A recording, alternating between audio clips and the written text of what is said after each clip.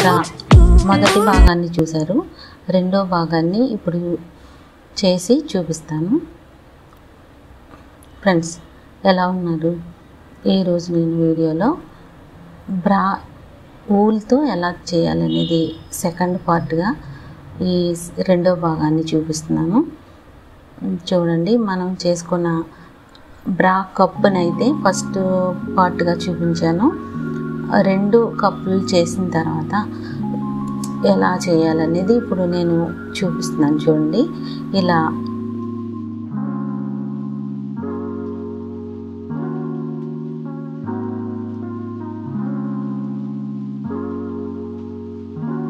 Cup ఒకటి ఐదు inches ఉంటాయి. రెండు కలిసి టెన్ ఇంచెస్ వస్తాయి. ఇవి ఫ్రంట్ భాగాన్ని ఉంటాయి. అయితే మనం ఇప్పుడు వెనక భాగాన నడుము దగ్గర ఎలా చేయాలనేది ఇప్పుడు నేను చూపిస్తాను. చూడండి అలా రౌండ్గా వస్తుంది.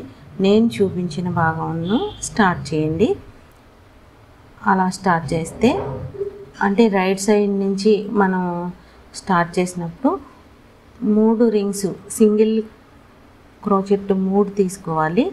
అలా సింగిల్ చైన్స్ మూడు చేసిన తర్వాత కింద ఒక చైన్ వదిలి ఇంకొక రింగ్లో చూడండి అలా ముడిలా వేసుకొని మళ్ళీ మూడు చైన్స్ చేసుకొని కింద ఉన్న చైన్లో ముడి వేస్తూ ఉండాలి. ఒకటి తర్వాత ఒకటి. ఒకటి వదిలి రెండో దాంట్లో అనమాట అలా ఐదు రింగ్స్ని అయితే చేయవలసి ఉంటుంది. ఒక్కొక్క రింగ్లోనూ మూడేసి చైన్స్ అయితే ఉంటాయి. అలా నాలుగు వచ్చినాయి. ఇంకొకటి వస్తే ఐదు వస్తాయి. ఆ ఐదు రింగులు వచ్చిన తర్వాత పక్కకి టర్న్ చేసుకుంటాము. అటువైపు టర్న్ అయిన తర్వాత మళ్ళీ రెండు రింగ్స్ చేసుకుని ఒక్కొక్క ఇప్పుడు మనం చేసిన ఒక్కొక్క రింగ్లోనూ ఐదు చేసాం కాబట్టి ఫస్ట్ రింగ్లో డబల్ క్రోషేలు రెండు చేసుకోవాలి. అంటే ఊల్ పైనుంచి సూది పైనుంచి ఊల్ తీసుకొని రెండు డబల్ క్రోషేలు చేసుకోవాలి. అలా ఒక్కొక్క రింగ్లోనూ రెండు రెండుగా చేసుకుంటూ ఐదు రింగ్స్లోనూ డబుల్ క్రోషేలు చేసుకోవాలి. అలా చేసుకున్న తర్వాత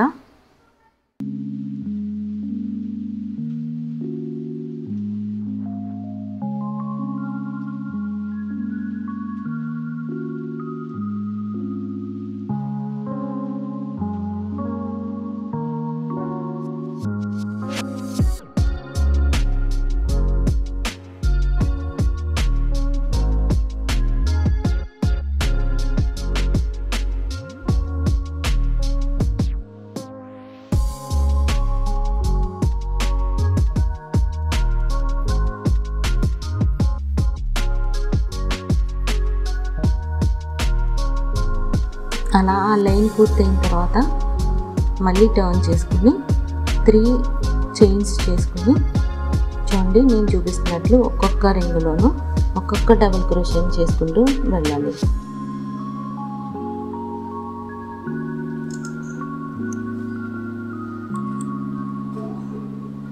ఒక్కొక్క చైన్లోనూ ఒక్కొక్క డబుల్ క్రోషియన్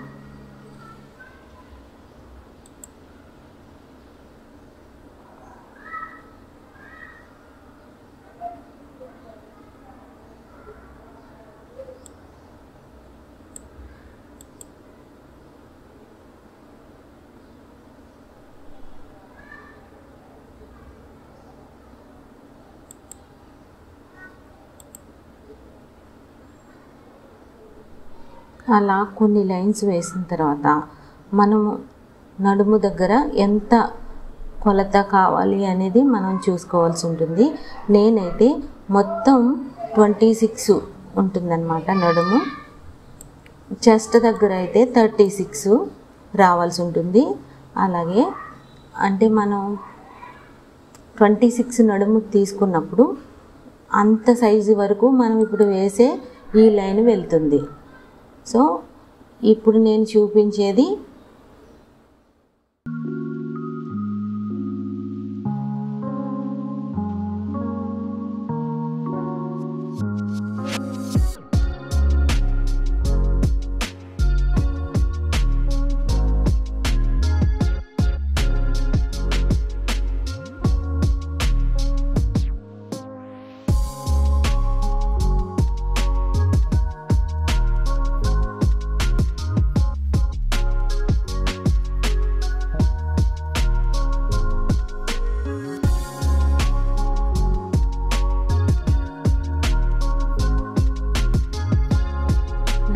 సైజులు అయితే మిడిల్ లార్జ్ ఎక్స్ట్రా లార్జ్ అని ఉంటాయి.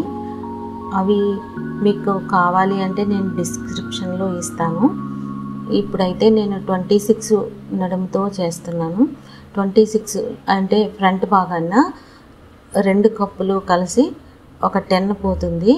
అది టెన్ వచ్చేస్తాయి కాబట్టి మనం నడుము దగ్గర తీసుకునేది ఓన్లీ సిక్స్టీన్ మాత్రం వచ్చేలా చూసుకోవాలి. మనం ఈ లైన్స్ అన్నీ పెంచుకుంటూ వెళ్తున్నాము. అలా పెంచుకుంటూ వెళ్ళడం వల్ల మనకి ఎంత కావాలనేది మనకి తెలుస్తుంది. ట్వంటీ సిక్స్ కావాల్సి కావాలి కాబట్టి మనం టెన్ తీసేస్తున్నాం. అంటే ఫ్రంట్ టెన్ వచ్చేసింది కాబట్టి బ్యాక్ పోర్షన్ మాత్రం ఇలా వస్తుంది. ఇలా వచ్చిన తర్వాత దాన్ని వేరే కప్పుకి ఎలా కనెక్ట్ చేస్తున్నాను అనేది ఇప్పుడు మీకు చూపిస్తున్నాను. ఇలా వచ్చిన దాన్ని వేరే కప్తో కనెక్ట్ చేసుకోవాల్సి ఉంటుంది. అలా కనెక్ట్ చేసుకున్న తర్వాత హ్యాండ్స్ కోసం మనం ఎలా చేయాలనేది మార్కర్ నేను పెట్టి చూపిస్తున్నాను. మార్కర్ పెట్టిన ప్లేస్లో మనం ఎలా కనెక్ట్ చేస్తున్నాం అనేది నేను మీకు చూపిస్తాను.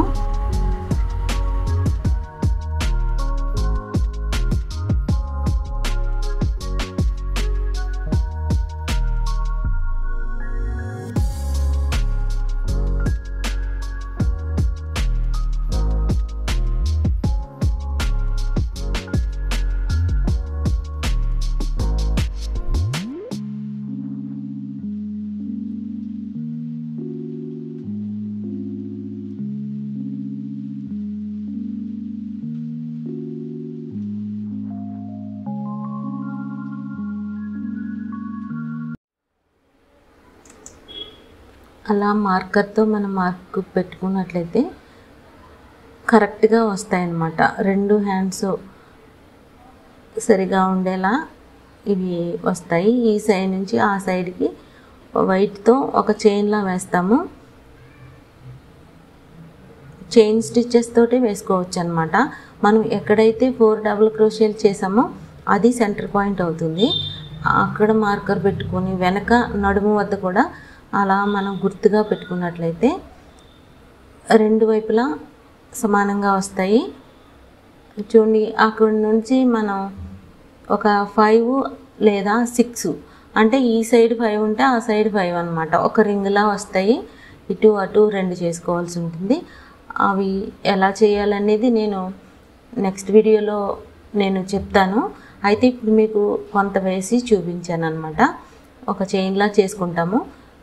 అలా చైన్లా చేసుకున్న దాన్ని ఈ సైడ్ నుంచి ఆ సైడ్కి కనెక్ట్ చేయాలంటే ఒక ఐదు డబుల్ క్రోషేలు ఆఫ్గా చేసుకొని ఇలా తీసుకోవాలి.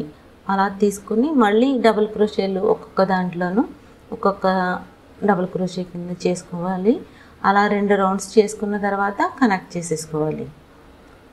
ఆ కనెక్ట్ చేసుకున్న తర్వాత చివరిలో నేను వేరే కలర్ ఊల్ని తీసుకున్నాను. అది లైట్ వెయిట్ ఉండేదన్నమాట. ఎడ్జెస్ వద్ద అవి చూడడానికి బాగుంటుందనే ఉద్దేశంతో నేను చేశాను. మోడల్స్ ఏమీ తీయలేదు. అయితే మీకు బ్రా అనేది ఎలా చేయాలి అనే దానికోసం ఒక ఐడియా కోసం ఈ వీడియోని అయితే ప్రజెంట్ చేస్తున్నాను. అయితే మీకు అర్థమైందనే నేను అనుకుంటాను. వచ్చిన వారు అల్లికలు నేర్చుకున్న వారు అయితే ఈజీగా వీటిని నేర్చుకునే అంత ఈజీగా చేశానని నేను అనుకుంటున్నాను. అయితే మీరు కమెంట్ చేసి చెప్పినట్లయితే నేను చెప్పింది మీకు అర్థమైందా లేదా అనేది నేను తెలుసుకుంటాను.